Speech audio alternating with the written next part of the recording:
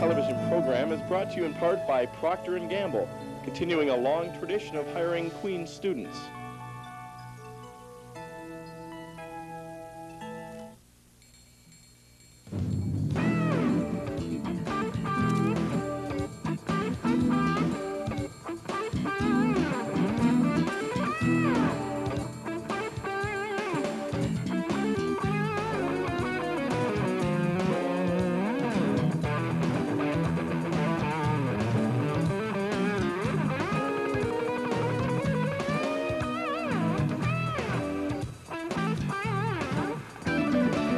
Hi, and welcome to another episode of Studio Q. I'm Graham Abbey, and for those of you who missed last week's show, you'll know that my former co-anchor, Sherry Ross, has decided to leave Studio Q to pursue a career in television with ATV in Hong Kong.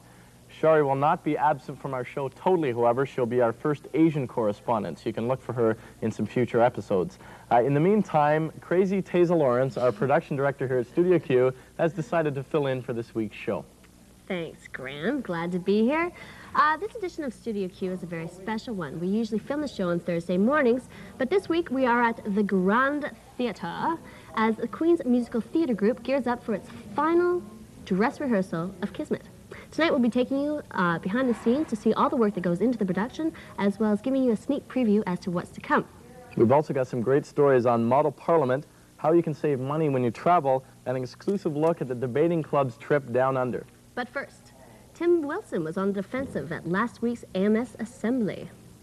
Remember these pictures of his personal bolorama? Tim thought his antics would go unnoticed, but that was not the case. After we aired a videotape of the event, courtesy of our friends at the Golden Words and Clark Hall Pub, he thought an apology was in order. In a letter released last Thursday, he wrote, quote, The December break provided me with a great deal of time during which I was able to reflect on this and other incidents which I honestly regret. Is this the North Pole or what? Bitter cold plagued Kingston over the last week, and forecasts predict a continued deep freeze. Douglas Library was one victim of the weather when pipes burst in the building over the weekend and caused minor flooding. A lot of students are talking about Imam Jamil Al-Amin, a former member of the U.S. Black Panther Party who visited Queens Saturday night. He drew a large crowd to his talk, sponsored by the Queens Muslim Association. His comments were found quite controversial, as he asserted that homosexuality is sinful and that Christian, Jews, and other religious groups made an error in their choice of faith. He argued that Islam is the only way to success in a troubled world. Still to come on Studio Q, take a trip to Baghdad a special look behind the scenes of Kismet, the latest production by the Queen's Musical Theater. Along with the bitter cold and welcome back week, January brings with an important political event, the AMS elections. Reporter Jeniene Phillips takes a look at what students might expect from this year's race and also what some aspiring politicians should be aware of. With the AMS elections coming up, a glance back at the current executive's record is in order. The Phillips Wilson Marnerson team was elected nearly a year ago by a narrow margin of 0.67%.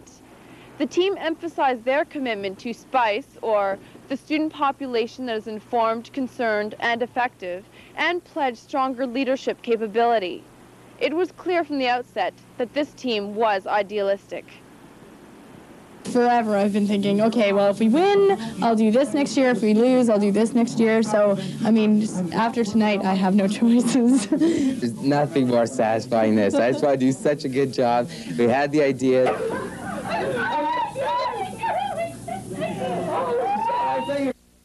Phillips, Wilson, and Marnerson's record is a combination of successes and shortcomings.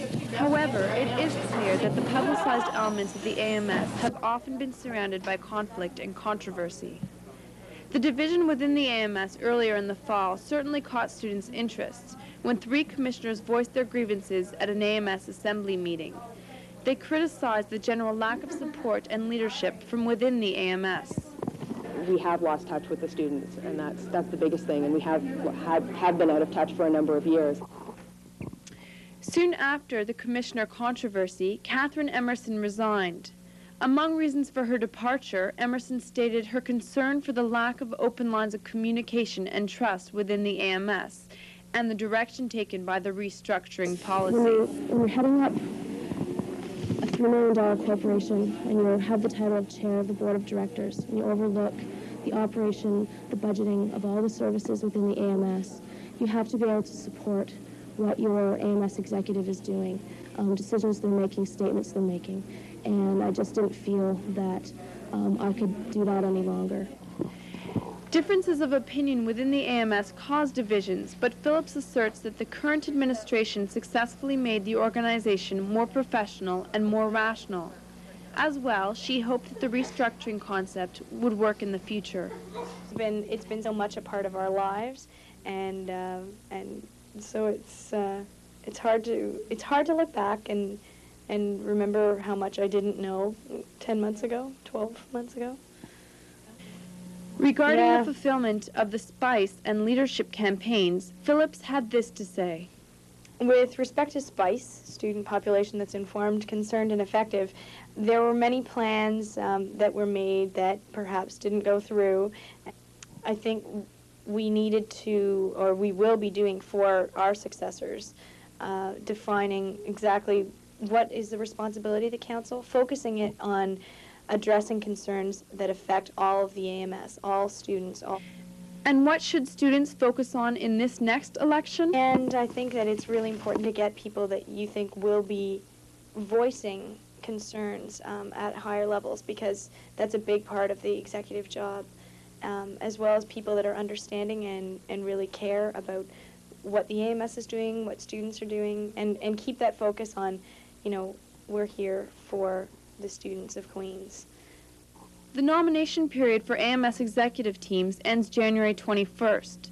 The campaign period runs from the 25th of January to the 7th of February. And the polling dates are February 8th and 9th. I can't predict how I'm going to feel on February 9th, but I think I'm going to be pretty relieved, actually. Continuing our look at the political, budding Queen's politicians recently took part in the Queen's Model Parliament. Stefan Teague caught up with some of the debate as well as some of the festivities. While many of you spent last weekend recovering from the Welcome Back Week hangover, bundled up in sweaters and blankets once you saw your PUC bill, student politicians from all faculties were recovering in a more traditional fashion associated with this time of year. Yes, you missed it. Last weekend was the annual three-day session of Queen's Model Parliament, a somewhat close simulation of the real events which take place in Ottawa. Ignoring the minor details, such as a progressive conservative government with a liberal leading opposition, as well as the presence of some yogic flyers from the Natural Law Party, the parliamentary sessions were operated in close resemblance to the original, with issues being perhaps arguably more interesting. Now, I asked the House in general, this is not like selling ice cream to fat or subsidized weight loss. I urge the members of this House, particularly the members of the National Fascist uh, Family Party,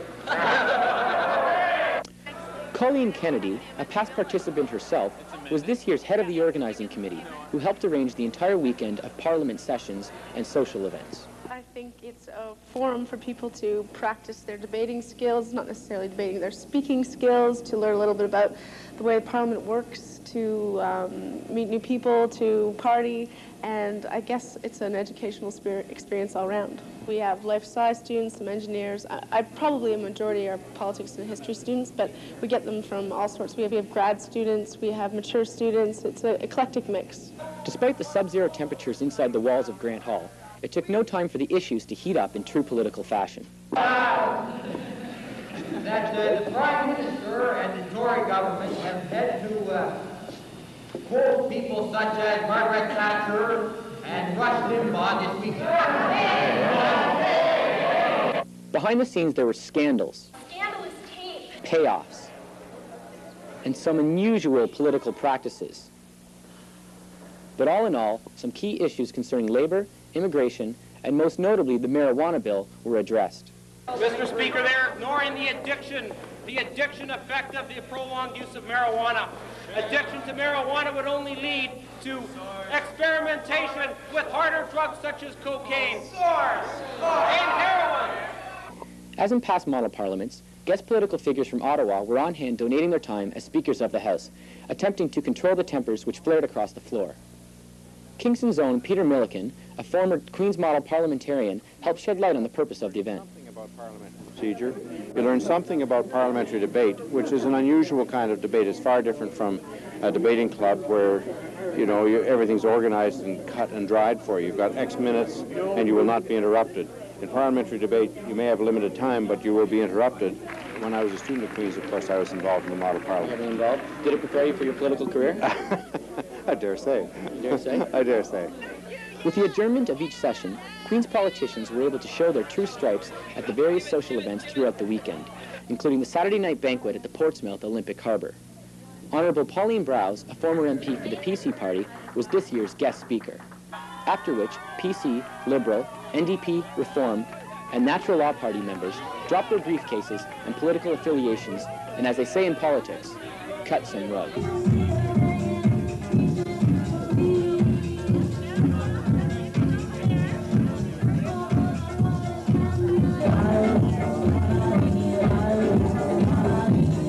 One is really sure exactly how long the Queen's Model Parliament has been running.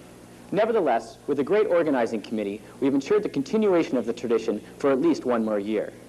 And with an honor roll of past parliamentarians such as John Crosbie and Peter Milliken, we can expect to see some of this year's participants at the real thing in the near future.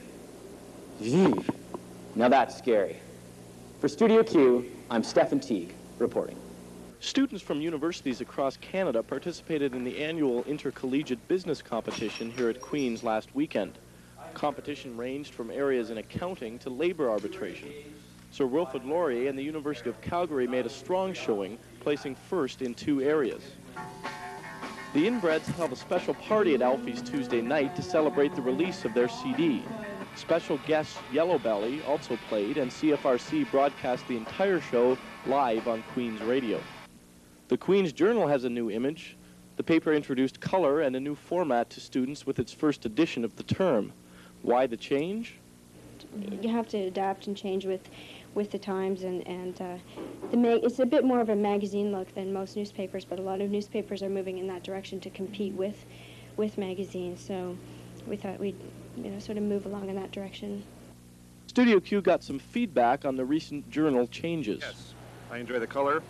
I enjoy the new format, but it seems to be lacking that je ne sais quoi. I think it's great. Adds a little bit of color, brings a little bit of life. I think it's actually very fantastic. I like it. I like the pictures on it. I think it's a great idea. Here's some information for all you Arts 94 formal goers. The final date has been set for March 5th at Portsmouth Olympic Harbor, and the theme is Elegance by Twilight. Sign-up times for construction will be posted next week. Check out the Upper Ceilidh on Thursday the 27th and Friday the 28th to find out when you can slot yourself in. The formal committee has also informed Studio Q that they have a big surprise planned. So we'll all have to wait with bated breath to find out just exactly what that is. Shari Ross wasn't the only Studio Q reporter to travel to a different continent over the holidays. Reporter Kevin Rex traveled down to Melbourne, Australia to compete in the Debating World Championships. And he flies this story home from way down under. If anyone's ever told you that debating is dull, then it's time to think again.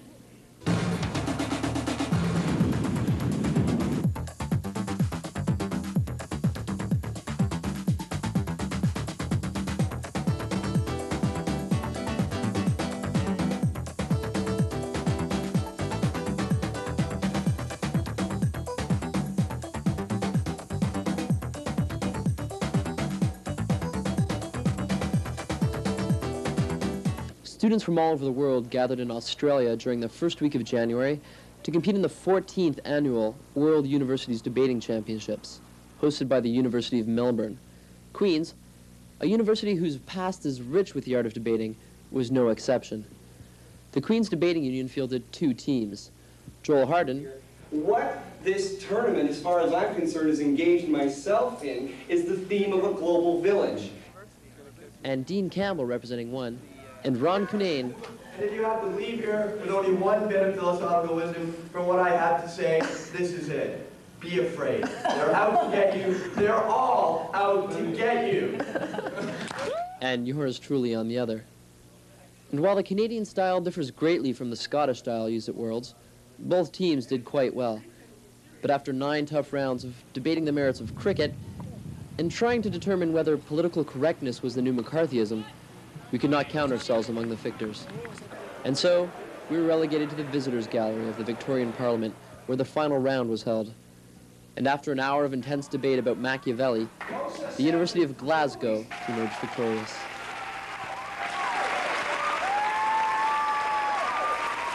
You ask me, the kilts had a lot to do with it. And although halfway around the world, we were made to feel quite at home. And a trip to Australia just wouldn't be complete without a little surfing. Reporting for Studio Q from the land down under, where it's 37 degrees Celsius, this is Kevin Rex. Water. Waves aren't big enough to surf. Welcome back to another week of What's on Where. At the shot, buck off of every drink every night this week until 10 o'clock p.m. And if you got the winter blues, be sure to book a smoker at the shot today. It'll be sure to take those blues away. Back on campus, Alfie's is hosting a super smoker on Saturday beginning at 12 o'clock until 6 o'clock p.m. And at 7, Alfie goes to the Caribbean with a jamming Jamaica reggae night. Don't miss Scott Sympathy B and the Lowest of the Low on Wednesday night. Live entertainment is back at the QP beginning on Friday at 4 o'clock with Steve Bond. Saturday, come down and see the movie Menace to Society. And if you have a special celebration coming up, be sure to book a private party at the QP. Just call 545-2740. That's it for What's on Where this week. Have a great weekend and be sure to stay warm. Unless you have to go off and get a prop, stay on stage, please, okay? Sounds great. Could you take it from the same place? We started at the end of September with auditions. The cast was formed uh, over the span of a week with uh, auditions and callbacks. And the rehearsal started, I think, the second week of October. And we went all the way to the end of November. Uh, auditions for the orchestra started in October and uh, were done. And they've been practicing since October. So, uh, you know, an enormous amount of work has gone into the production. The story itself is is quite a spoof on a lot of the Aladdin sort of Alibaba 40 thief type type shows. It, I I think it's a riot. It, Here, you deserve encouragement. One denarii is, is not enough to encourage me. Take it! Take it! No, it's not enough. You're too stingy. No.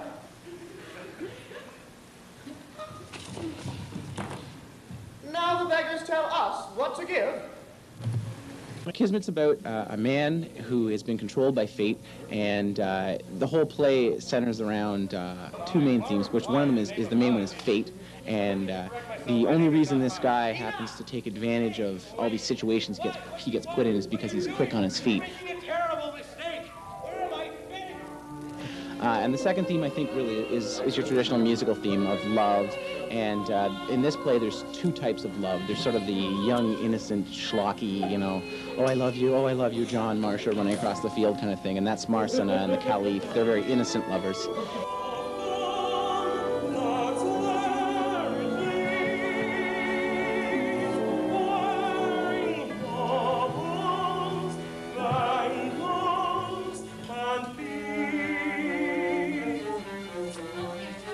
The other one is the poet and Lalume, who is the uh, wazir's wife, who's very dissatisfied with the wazir, who doesn't pay attention to her at all, and basically just ignores her. And she falls in love with the poet, and they're uh, they've both sort of been around the block. They're a little more experienced, and it's not quite the same thing. It's not quite the same young innocence.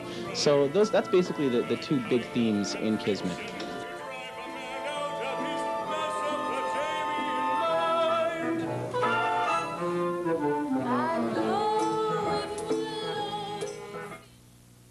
Got those transcript blues?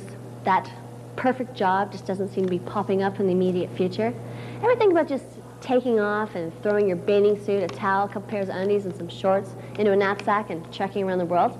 Well, the only thing that's really holding us back is the money factor. On this week's It's Your Money, Jen Mondoux looks at the pros and cons of traveling safely and cheaply. If Kingston, Ontario is not your favorite place to be this time of year, and if images of backpacking through faraway lands have been dominating your thoughts lately, then you are probably one of the many students who showed up to hear Gil White's travel adventures this past Tuesday night in Ellis Auditorium. White entertained his audience with down-to-earth suggestions about what he felt were the best and cheapest ways of getting around. His advice to minimize costs and maximize enjoyment? Plan in advance, budget your funds, and keep an open mind when I think trying to traveling. get the point across, you don't need thousands of dollars. I mean, a lot of you probably have this fixed idea, you need five or six thousand dollars to go for three or four months. That's a lot of money to save up for, especially when you're paying for your schooling. White stressed one other um, factor. Don't be uh, afraid to flaunt the fact that you're Canadian. All I had to do was say the word Canada. The coach from Kiev took me into the dressing room to meet the whole team. But students had mixed reactions about what White had to say. I didn't really recognize, I think, the differences, especially today, that do exist for women and men traveling. But um, it was it was really interesting. I don't know, like I said, knocking on doors in the countryside and trying to get into a farmhouse might be a little bit much for me, but just trying to really get to know like the people that you're with and getting rides. Like I really like the idea of, of hitchhiking rather than taking the trains everywhere and then talking to the drivers and stuff. I thought it was really cool. But even if you budget carefully, some students still can't afford to travel. Other options exist, though. Try getting involved with certain clubs on campus who will pay your way, while at the same time providing you with invaluable experience. Darlene Lim from Queen's Project on International Development explains. Um, other expenses that come up, such as materials and equipment. But, I mean, the only thing that they'll have to worry about is uh, things like spending money. But otherwise, uh, QPID covers everything else because we can't afford to pay them a salary, but we have to take care of all other expenses. But if you're forced to finance the trip yourself, be sure to check out your local travel agency before you go anywhere. Contrary to popular belief, they're not out to hand you the most expensive package deal. Travel consultants are aware of the importance of getting the most out of your trip, even if you're a student. Couple of months and, and two or three thousand, yeah, you should be able to do that. Mm-hmm. But you can you can do that practically with a tour, you know, and uh, not compromise your safety. And then on the tour, it would be groups of people your own ages so that you get to meet people. And then if you wanted to do something um, after the tour was completed, you know, then you can go around and do hostels and things on your own. And uh, at least you have somebody to, to do it with or a group. And there's always safety in numbers. So if you're planning on traveling anywhere in the near future, be sure to do your homework first. Talk to travel agents, friends, or anyone who's had any experience, not only to get a feel for where you're going, but also to gain a perspective on whether or not it's five-star hotels or youth hostels that are more within your budget. For Studio Q, I'm Jen Mondoux reporting.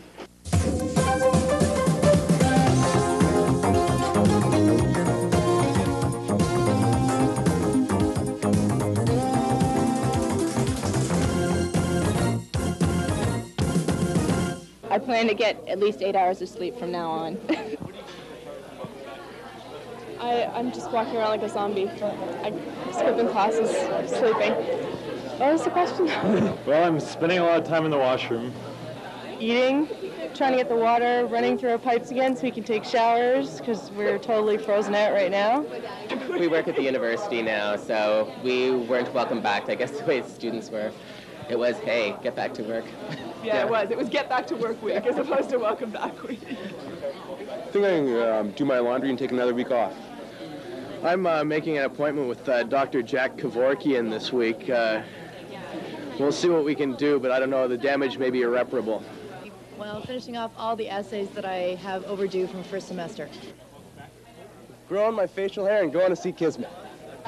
Well, I spend most of my time curled fetal in a ball, whimpering silently to myself and irritating my housemates. Uh, well, I'm trying to sleep, but um, assignments keep getting in the way. So if you can get rid of my assignments, then I'll recover quite well. I'm planning my uh, return into the World Wrestling Federation. Well, I don't know. I think to ease into the term, I think you'd be more inclined to have like a few more parties throughout the uh, rest of the term, and then I don't think I'd like to recover from it. I'd like to continue it, actually. And now a special word from our corporate sponsor, Procter & Gamble. Do you have the summer job blues? Are you in third year? Want to get a head start in your career? Then why not consider Procter & Gamble's summer internship program? But I'm not in commerce. You don't have to be in commerce. There are opportunities in finance, sales management, systems, brand management, and manufacturing. So pick up an information package at Career Planning and Placement near Vic Hall. Procter & Gamble is looking for highly motivated people from any background or discipline. But you'd better hurry. Applications are due by January 28th. Next week on Studio Q, house hunting. It's that time of year to brave the elements, gather together your closest friends, and look for a place to put a roof over your head. We look at the do's and don'ts of house hunting. Next week, only on Studio Q.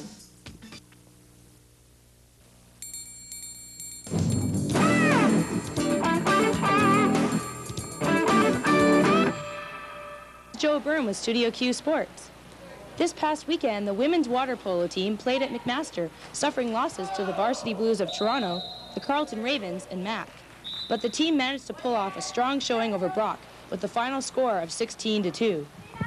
On the scoreboard, the Queens men's curling team strengthened its position at the top of the East Sectional Division of the OUAA. The Golden Gaels posted a 3-1 record to share the lead with the RMC Redmen. In basketball action, the men's and women's teams hosted the Ottawa GGs on Tuesday night in Bartlett Gym. The women's team, coming off a decisive victory against the Carleton Ravens on the weekend, winning 60 to 39, were unable to repeat against Ottawa, who defeated Queens 77 to 61. In the OWIAA, Vicki Wilson of Queens leads the scoring with an average of 28 points a game.